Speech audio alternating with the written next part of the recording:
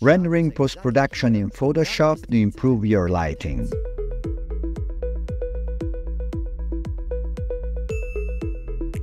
In this type of post-production in Photoshop, applying a curve to increase the contrast is not enough.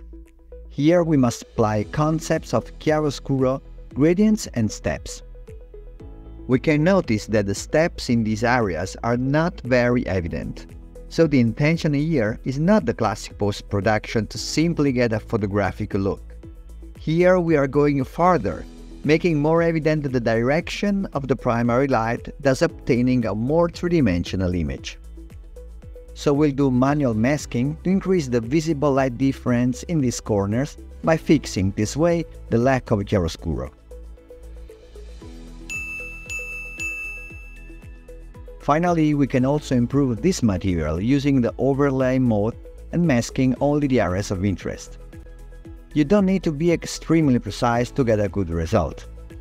With a few adjustments, you'll see an overall improvement in the lighting direction. And remember that mastering lighting is crucial if you want to be recognized as a very skilled 3D artist.